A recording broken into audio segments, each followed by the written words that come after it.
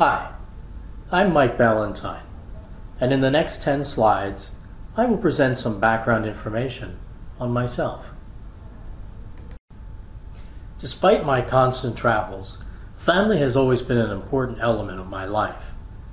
My wife La and I are living in Vietnam, along with my youngest son, Bruce.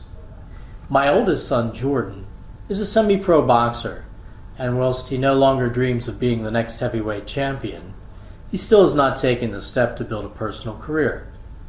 Jordan has taught me patience. Austin is my second son and works hard to demonstrate that he is not his brother. Austin joined the Air Force at my urging, but chose to specialize in special forces. He knows how much it annoys me that he is training NATO troops on how to fly drones. Audrey is a wonderful daughter who spends her time with music and learning languages. Audrey studies English, French, Chinese, and Vietnamese. She will be the diplomat of the family. William is my son in Africa, and his single dream is to come to America. Bruce, like Audrey, is studying multiple languages. In his kindergarten program, he studies English, Chinese, and Vietnamese. Bruce likes Lego Chimos and Power Rangers, unless, of course, Blues Clues is playing on TV.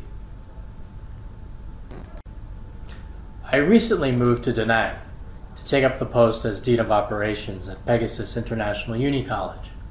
Previously, I chaired the English Language Department, and my promotion is a result of an early retirement by the Dean of the college. If only I had finished my PhD. Da Nang is a lovely beach town with great weather, clean air, and a thriving economy. Unfortunately, my wife is remaining in Hanoi until the end of the year for financial reasons but my son Bruce came with me to escape the heavy air pollution of Hanoi. Although he misses his mom, he enjoys going to the beach every Sunday morning. The rest of my children are in schools or living on their own around the world. I grew up in Philadelphia, and as a teen, my family fell upon hard times. My mother enrolled my two brothers and I in Milton Hershey School, a school for underprivileged children that promotes vocational education and entrepreneurship with the intent to create Horatio Alger realities. I credit much of my personal drive to succeed from my time at Hershey. When I graduated from Hershey, I began my college studies at Dickinson College. I chose Dickinson because I could maintain my friendships from high school, continue my work with the Boy Scouts, and study Hebrew. At the time, I wanted to be an archaeologist and study cultures.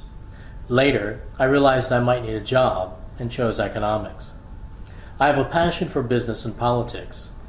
Economics seems to be the unhappy marriage of the two.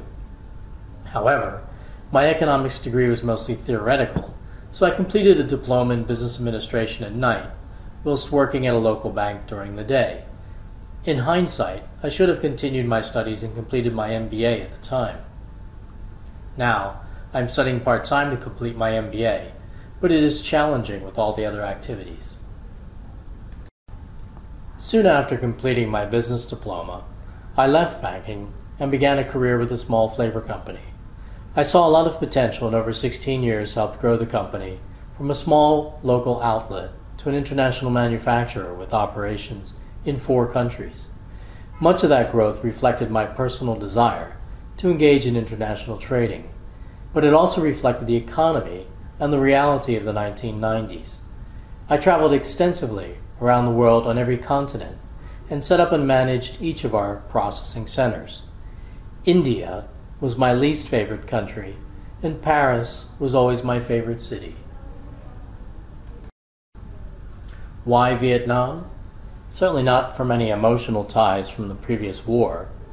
Rather, in 2005, the vanilla market collapsed and my processing centers were closed.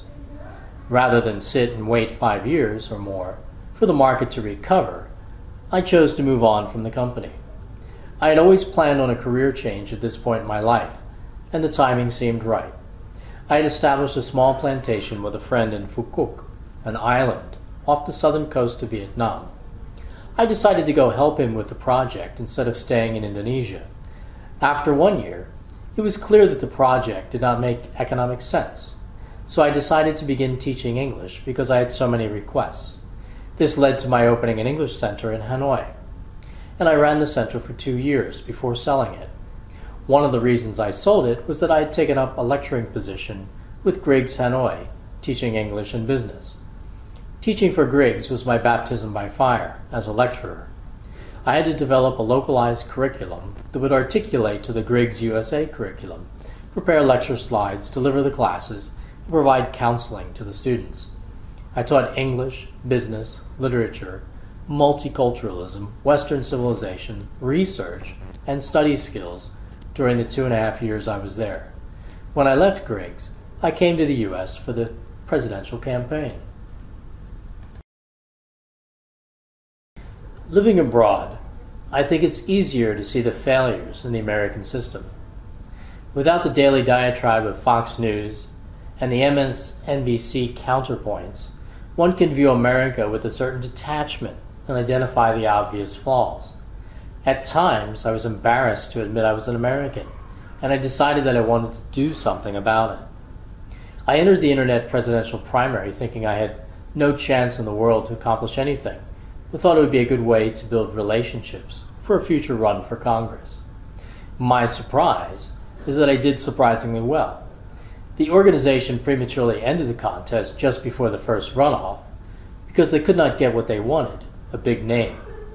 They planned on three votes, taking the top six, then the top three, and finally the top two. I guess when a teacher from Hanoi makes it to the top six, it's time to throw in the towel. From that experience, I developed a relationship with Rocky Anderson, the number two guy, in the Americans Elect contest. I agreed to support his fledgling party by organizing Texas and serving on the National Steering Committee. I recently stepped down when I moved to Da Nang because of time constraints. However, in 2016, I will return to the U.S. for the campaign and support the party's efforts to elect some candidates. In 2020, I plan on making a run again for Congress. Over the years, my personal interests have changed. I have a strong environmental bent from my days in scouting and visiting farms around the world. Eventually, I will settle down and develop my own farm. In the past, I was active in scouting, but Vietnam does not allow scouting, so I am no longer involved. I remain affiliated with the Masons, and my personal philosophy reflects my deist beliefs. My future plans include completing my PhD at Andrews and running the college here in Vietnam. There are numerous opportunities for me once I earn my PhD, and I have no doubt that I can fund a posting. I want to run for Congress and potentially serve in the cabinet because I believe I can make a difference in America. However, that requires a bit of money and a bit of luck.